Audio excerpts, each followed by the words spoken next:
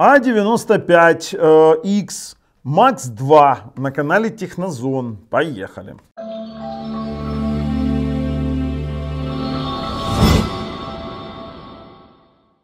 Привет, ребят! Хорошая приставка, сказал бы я, но не без вопросов, которые у меня возникли в процессе ее тестирования. Итак, это iMlogic S905X3. И вроде бы такую приставку вы уже видели, но что сделала компания A95X? Они взяли предыдущую модель A95X Max просто и сделали Max 2. А что сделали? Просто поменяли элементарно процессор.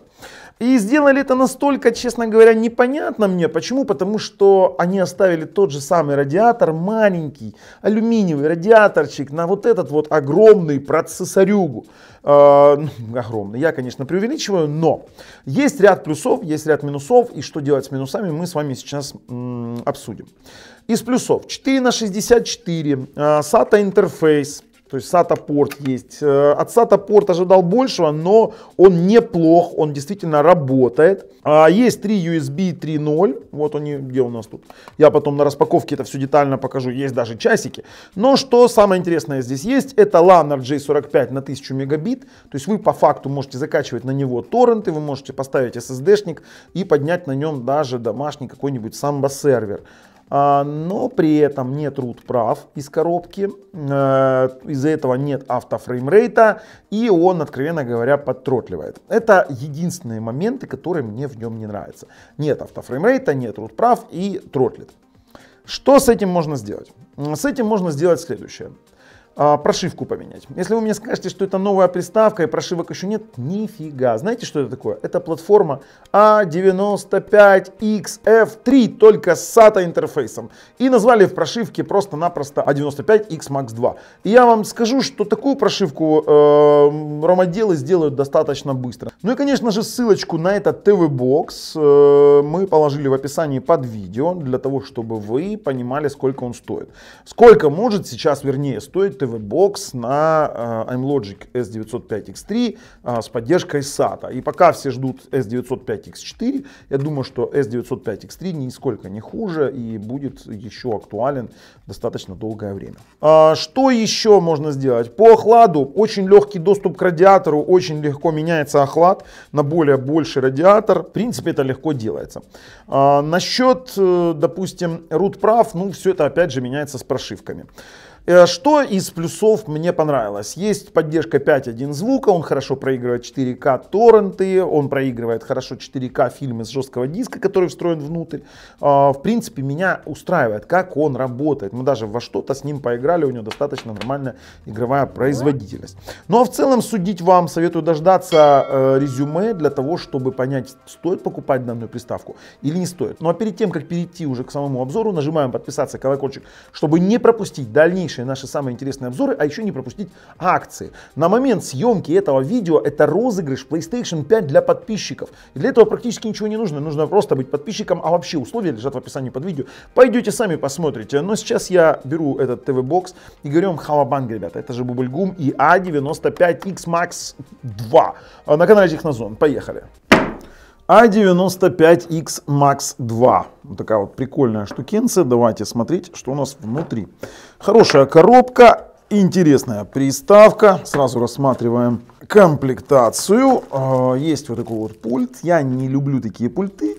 Но, конечно, у него есть преимущество того, что здесь есть вот эта вот программируемая зона для телевизора. Есть цифровые кнопки для IPTV и есть блок питания Блок питания у нас идет э, 5 вольт 2,5 ампера. В принципе, это, наверное, для SSD больше они сюда такое запихнули. И что сам по себе представляет из себя 95X Max 2. Э, сзади у нас есть крепление, разъемы для крепления на боках. Для замок Kensington э, есть э, аудио-видео выход, SPDIF, LAN RJ45 на 1000 мегабит, HDMI, есть USB 2 разъем питания, 3 USB 3.0, это плюс, и разъем для TF-карт, ну, в принципе, спереди есть часики, сейчас они под пленочкой по ходу. А, слушайте, верхняя крышечка снимается, и вот так вот это все выглядит. Лоточек у нас откручиваемый, поэтому я думаю, что модифицировать охлаждение, если вдруг это понадобится в результате тестов, здесь не составит труда. Давайте с вами сейчас его раскрутим для того, чтобы добраться ближе к внутренностям самой приставки. О, вот так вот это все выглядит. Радиатор маленький, радиатор сразу под замену, очень удобно. Э, смотрите, он на жвачке. Он на жвачке, на очень мягкой жвачке, спилится он без проблем, струной, потому что вот она даже мягкая, я на нее нажимаю, она мягкая. И память, я бы охладил бы, честно говоря, еще, ой, есть у нас сетевой модуль Realtek, Слушайте, ну нормально, нормально. А если вот эту штуку заменить, то будет вообще в полном порядке все. Установим сюда SSD диск. Так, здесь у нас все приклеено, все вставлено. Таким образом это выглядит. И можем вставлять уже в сам корпус. Все у нас установлено, можем собирать. Вот такая вот прелесть у нас получилась. Ну что, давайте подключать. Вот слушайте, сюда же можно было бы, конечно, влепить какое-нибудь активное охлаждение вот с той стороны. Ну, не подумали, не подумали. Все, в принципе, как э, в Max версии, в первой. Ну, здесь они сразу указали 4 на 64. iMlogic Quad-Core A55. Слушайте, все, переходим и тестируем. Знаете, интерфейс с A95X Max первой ревизии не сильно-то и поменялся. Остался точно такой же. Хотя он мне не сильно нравился. Лончер сразу рекомендую менять, либо делать из него АТВ через э, тот же самый Android TV модуль. Это все возможно. Но поехали сразу по настройкам. В настройках у нас есть подключение 5 ГГц, 2,4 ГГц. Подключаем наш роутер. Подключился он, конечно же, без проблем. Выходим дальше. С аккаунтами вопросов не возникло. А, в настройках устройства абсолютно все э, вот, э, как во всех Android устройствах. Никаких дополнительных плюшек я здесь не вижу. То есть модель A95X Max 2. Обыкновенные настройки. В расширенных настройках мы можем с вами увидеть устройство настройки дисплея, где он поддерживает от 480p до 4К 2К SMPTE. Dolby Vision здесь не работает, можем не, не пробовать даже. А, можно регулировать размер экрана для избежания оверскана и рабочий HDR, полностью работающий HDR. Аудио output поставили э, звук для того, чтобы понимать, какие у нас там звук, ну, какой формат звука он поддерживает. Есть включатель root прав, то есть их можно выключить, можно включить. Э, в More Settings это чистый Android, настройки чистого Android. В принципе, никаких сюрпризов нам приставочка не принесла, что касаемо настроек. А вот AIDA 64 э, смотрим, это все та же самая платформа, а 95 XF3. Как же вы достали с этой платформой? 4 а, гигабайта на 64 хранилища. Центральный процессор Cortex A55, 4 ядра по 1,7 ГГц, то есть здесь кастрированный процессор. Но это в принципе неплохо. Для мультимедиа будет хватать и греться будет не так сильно. За отображение отвечает Mali G31. Э, сеть у нас Connection Speed. Ого, 867 мегабит, будем проверять. А, доступ к температуре есть, но уже 70 градусов. Э, то есть охлаждать необходимо. Могу сразу сказать, поставить тот же радиатор на 900 905X3, как поставили на 905X2, это, откровенно говоря, кощунство.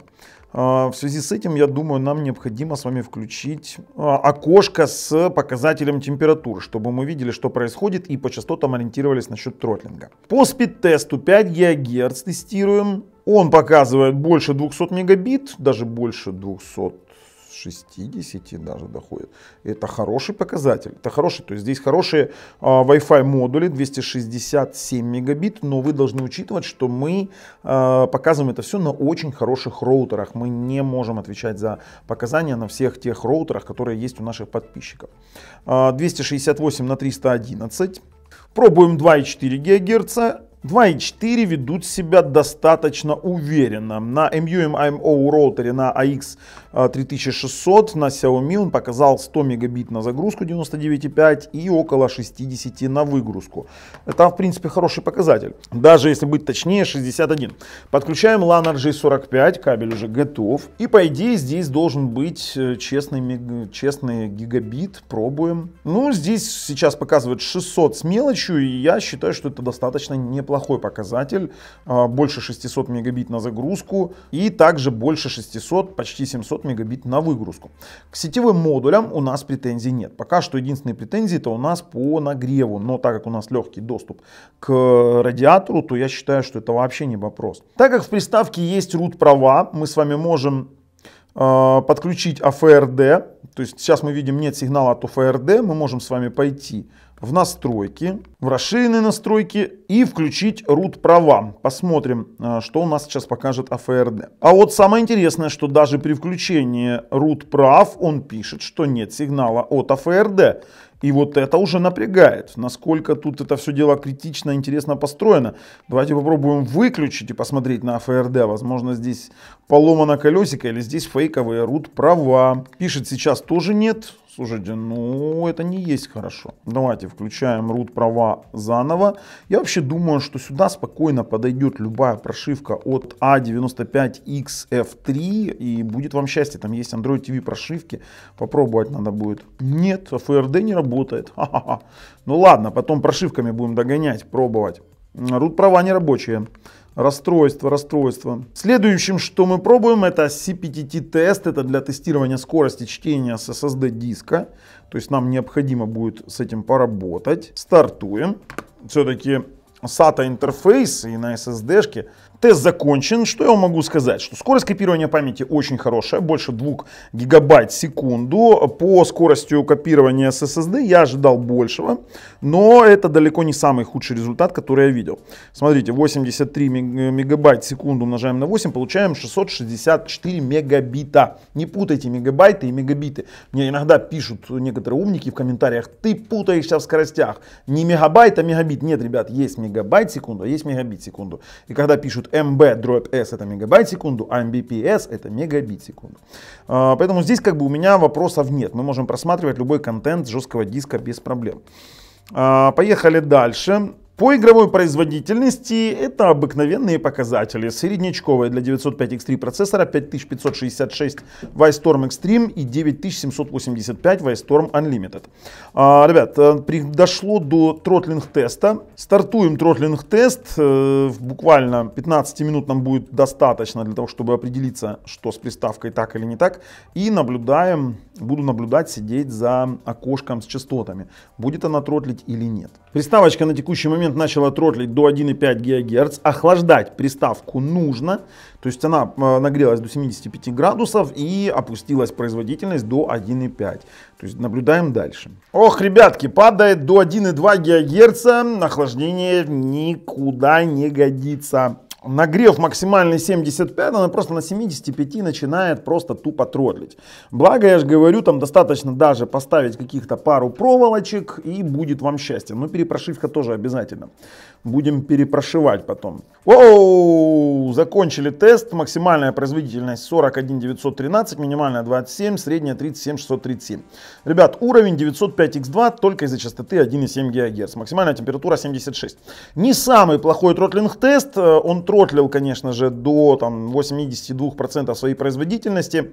Но еще раз резюмирую по э, охлаждению. Охлаждение обязательно. Это я вот э, считаю, что по-другому никак. Переходим к тестам мультимедийных возможностей. Для начала мы э, погоняем э, с вами раз, различные фильмы и э, звуковые файлы тестовые с э, жесткого диска, вернее с SSD, которые есть у нас. Начинаем Dolby Digital Plus через стоковый плеер. Давайте смотрим.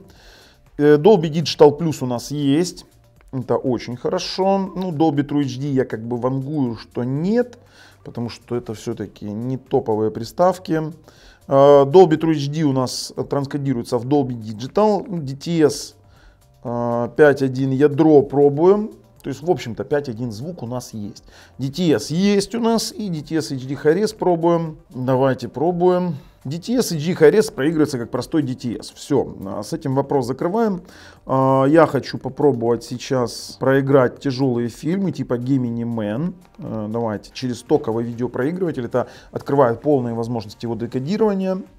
А, через Dolby Digital он проигрывается, вернее через обыкновенный стоковый проигрыватель он проигрывается в Dolby Digital, но температурка-то у нас подросла 78 градусов при проигрывании 4К 60 FPS. Это потому что задействован сейчас VPU. Не GPU, не CPU, а VPU. Есть такой модуль, который заставляет процессор греться еще сильнее. А, слушайте, но при этом он проигрывается. Проигрывается. Надо, надо, надо охлаждать. Надо, ребят. Надо, надо, но проигрывается неплохо. Слушайте, ну жесткого диска тут тоже сюрпризов нет, по крайней мере неприятных нет сюрпризов. Тестируем YouTube. Пробуем 4К 60 FPS э, ролик. Выведем диагностическое окошечко. На текущий момент он показывает BT709, э, но но он проигрывает, э, по крайней мере на LG, при подключении к LG проигрывал у меня в HDR, этот самый YouTube. Поэтому тут как бы вопрос такой. YouTube работает отлично, 4К 60 FPS идет отлично, и претензий по работе YouTube у меня нет. Самое смешное, что здесь есть еще и Netflix, это так называемый черный Netflix. Это такая себе подделка э, для мобильных устройств. И это все дело работает, но а, в качестве 576p, не больше. А, получить здесь Dolby Digital звук, главное не обновлять его, потому что если обновили, все, жопа ему будет. А, потому что Dolby Digital звук и HDR и 4K вы здесь не получите, но при этом Netflix будет воспроизводиться по вашей подписке. Можно брать минимальную какую-то, если у вас обыкновенный там Full HD телевизор, это будет еще как-то работать э, более-менее нормально. Давайте светлую сцену выберем какую-нибудь. Да, вот, пожалуйста, оно работает. Ну, очень похоже на эфирное телевидение, конечно. Достаточно дешевенькое. Ребят, хочу протестировать еще торренты онлайн. И, в принципе, уже можем э, переходить к игровым возможностям и делать выводы. Так, давайте пробовать Ипман 3. Как раз сейчас в фаворе этот торрент. Можем, можем, в принципе, 43 гига попробовать проиграть. Э, давайте выберем всегда. Для того, чтобы оставалось в истории проигрывания. Пошел набор пиров, пошел набор скорости. Сейчас все пиры подтянутся из DHT сети. Посмотрим, что у нас будет. 15, 16, 17 мегабайт в секунду. Очень хорошая скорость проигрывания. Пробуем через Vimo Media Player. И торрент на 40 с мелочью гигов пошел ну, просто идеально. Сейчас пройдет стартовый буфер, стартанул он идеально, а сейчас посмотрим, что он э, нам покажет после того, как стартовый буфер пройдет. Пусть проигрывается 78 градусов, 78-77. 78 это вообще граничная температура, которую мы в процессе эксплуатации смогли получить, не больше. Да, все работает, все работает и не тормозит, и 80 градусов, твою ж мать, и затротлило оно до 1000. Ну, круто, круто. А подайте ко мне, девочки, геймпад, а? А? Сейчас мы с вами попробуем еще игровые возможности. Так, так, так, подключаем геймпад. Давай, поиск устройств через A плюс Home. Так, геймпад наш подключен, используем G4 Pro. А, классный геймпад, ищите обзор у нас на канале. Очень-очень крутая тема, вообще очень крутая. Ну, при таком нагреве, думаю, нам достаточно будет попробовать одну игру, чтобы понять, вообще он как-то вытягивает на GPU, а, либо не вытягивает, и посмотрим. Стартуем асфальт 8. Стартуем асфальт 8. Посмотрим, что у нас сейчас получится. Ну, как бы слишком большой нагрев. 79. А, давай, давай, давай. Поехали. Но при этом работает. Справедливости ради скажу, что работает. Претензий у меня пока что нет. А, давайте 80 градусов. Но, но блин, но работает же. Но работает. Давайте нагреем выше 80, интересно. Он затротлил до 1000, но 1000, сейчас работает GPU в основном, процессор не сильно влияет на это все действие. 81, э, да, пошел нагрев выше. Ребята, охлад нужен. Я подозреваю, что здесь еще виноват SSD. А давайте мы сейчас тупо откроем крышку SSD-шника и поднимем SSD-шник вверх. Просто. Слишком там маленький радиатор, конечно. С радиатором печалька. О, ну конечно. Все равно будет греться. Надо радиатор менять. Надо радиатор менять, либо ставить 82, либо ставить активное охлаждение. Слушайте, ну все, буду выходить резюмировать. В принципе, свое мнение я сложил, э, чего я вам желаю. Переходим. Э, резюме. Резюме. Если у вас прямые руки, вы приложите совсем немного усилий, то вы получите достаточно неплохой ТВ-бокс с поддержкой SATA дисков. Э, при этом с большим количеством USB портов и который будет вам служить верой и правдой достаточно долгое время, потому что Max э, первой версии, вот эти A95X Max первой версии, показали себя достаточно достаточно неплохо. А, ребят, итак, итог таков. Я могу его рекомендовать э, людям, только тем, кто готов с этим заморочиться. Заморочка будет копеечная, и тут больше необходимо будет время, э, около часа или двух, для того, чтобы довести ее до идеального состояния, как для ТВ-бокса за его деньги. Но, если вам нравится то, что мы делаем, ставим пальцы вверх. Если нет пальцев вниз, обязательно подписываемся. С вами был Бабл на канале Технозон. Пока, ребят.